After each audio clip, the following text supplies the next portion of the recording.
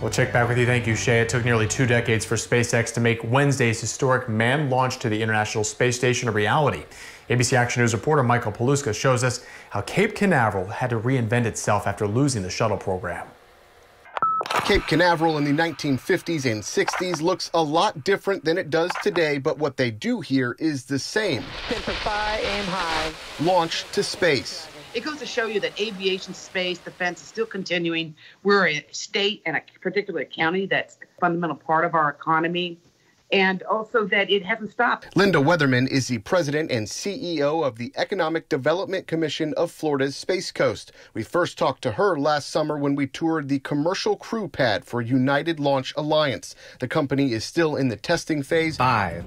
Four. But could be less than a year away from sending astronauts to space on Boeing's Starliner capsule. The rise of Starliner and a new era in human spaceflight. So there's so much history to it. It's a rebirth of bringing the manned space back to uh, to our country, quite frankly, to our state and to our community. And liftoff of the AEHF-4 mission. Weatherman says the Cape isn't just launching rockets, and in the middle of this pandemic, Aerion Supersonic announced a $300 million venture to build their supersonic jets here, creating 675 jobs, and major manufacturers are already here to take risks in order to shape the future. Like Made in Space, pioneers in manufacturing hundreds of tools on orbit using advanced robotics and 3D printing on the International Space Station. We have had a history.